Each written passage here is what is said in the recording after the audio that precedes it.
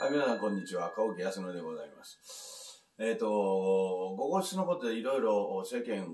では言われておるんですけどもね、あの、やはり小室眞子さんになられた、あの、眞子さまのことを追っかけてらっしゃる。で、今まあ当然、あの、ササンフランシスコ、あ、ニューヨークか、ニューヨークに行かれたんで、まあ静かな環境にいらっしゃって、ほっとされてる、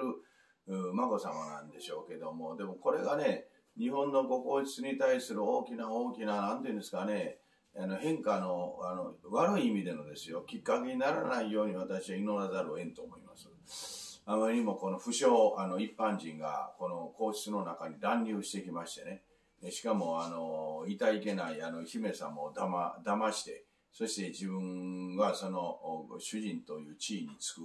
ということなんですけど、これが一般の家庭であればね、例えば、あの内申書内申書じゃなくて更新書に調べ、えー、いかなかった。そしてあの結婚相手の父親が、えー周りを確認しに行かなかったということがあったからこういうことが起こったということになるんでしょうけども。ところがご皇室においていけばですね宮内庁がありですね。そしてそのあの日本のあの日本国憲法第一条第一項の天皇というふうな条項があるのであればですね。当然時の内閣、えー安倍晋三首相そしてそれに伴う閣僚、まあ、宮内庁長官というのは官僚のようですけどもやっぱりそこら辺が、えー当然よくあの身を挺してですねご皇室に何ら問題がないかどうかということをまあ、あの内定をして当たり前なことや思うんですよ。ところが、これができてないというのはちょっと考えられにくい。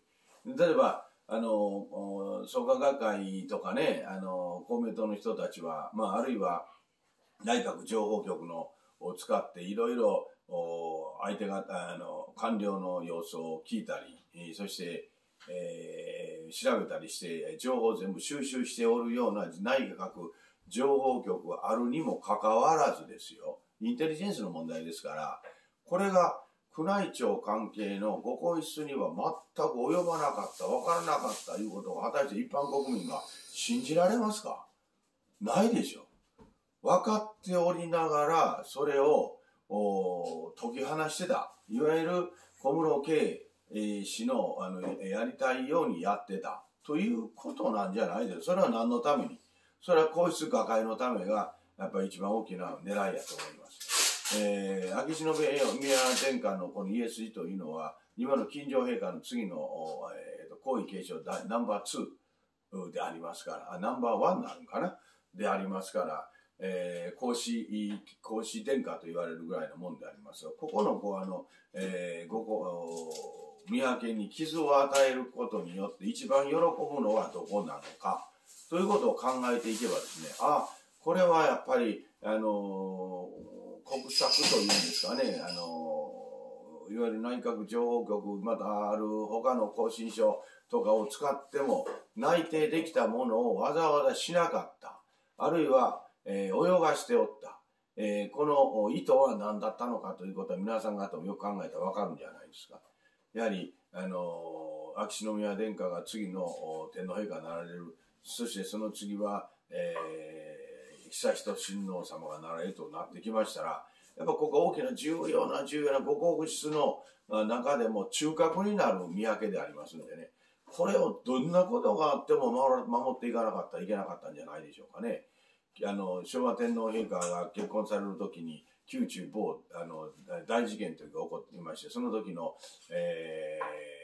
ー、西園寺金持ちというね、人が、えーその昭和天皇のお妃になられる方ですよね、えーもうあのその方の、えー、色毛があるんじゃないかということをすごく大きな問題にして、えーもう結婚させないようにした重大事件があったんですがそのことと比べたらもうどんどん全然違うじゃないですか。色毛の問題じゃないでしょ。ね。血筋の問題なんですよこれは。だから大王家に嫁いでくる大王家の関係者のところにもう一般の人が入ってきてそれもぐちゃぐちゃにしてねそして大王家の権威を失墜させていったそれが今のこの小室圭さんの事件なんですよね。眞子さまもやはりあのもういい大人なんですからねなんかあの、なんかもうあの、ローマの休日みたいなことを思っておったらどうしようもないので、本当にこの人が自分のためにね、身を挺してね、あの、弁護士の資格を取ってんのか、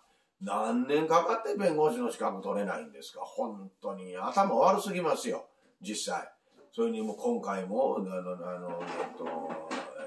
結婚、結婚の調印というんですかね、えー、戸籍を入れてから、やっぱり間違い、もう、あの、当選してませんなんでしたってバカみたいなことを言う？普通言わないでしょ？もう本当に、あの、石、あの、石畳というか、石橋の上を叩いて、来て、やっと婚姻に、あの、こじつけて、え、たどり着いてよかったというのが、本来でしょうがな。それをできない、してない。やらしてない。ということは、もう結果として、あの、今の、あの、秋篠宮家を瓦解させる一つの元に持っていってると思います。これは、あの、佳子様も危ういと思いますよ、実際。はい。あの、要は、あの、その秋篠宮殿下の、あの、行動とかね、若い時の行動とかいうのがどうやこうや今はもう別の問題。一般の家庭でも宝刀息子がいて、それがしっかりとしてね、あの、あの遊びに飽きてですね、あの、立派な社長になった、後継ぎになったいう字はありますから、今はそういうふうな中で、あの、ご自身で揉まれてきたということを考えていけば、やはりこれから秋篠宮殿下の治水はきちっと守っていかないといけないと思います。それによって、えー、眞子さんがですね、これからどういうふうな行動をするのか、しかも、あの、近所陛下とか、あもうあの、あの、えー、あの先の、あの、天皇陛下、あのに関する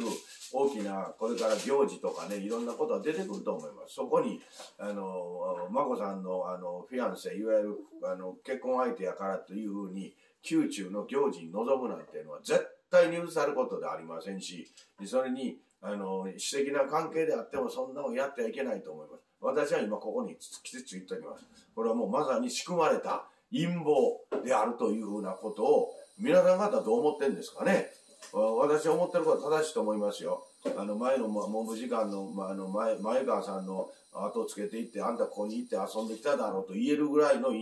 あの情報機関を持ってるわけですから。それが眞子さん一人のねねもうあの裏裏にか出ていってそして電車に乗ったのがつけていったらすぐ分かることですから。誰と一緒に付き合っても分かることですから付き合ってることも。それを伏せて今までの置いておったということはこれはやはり2つのことから。1つはあの、創価学会、公明党につながってる方が国王室にいるということによって、それが陰謀があること一つ。二つ目、これに関わった安倍、えー、内閣総理大臣も、この一党であるということは二つ。三つ目、あまりにも、あの、懐が甘すぎた眞子さま、眞子さんの、やはり、あの、これからの、あの、なんていうんですかね、大反省というんですかね、それとともに、早くもう、この、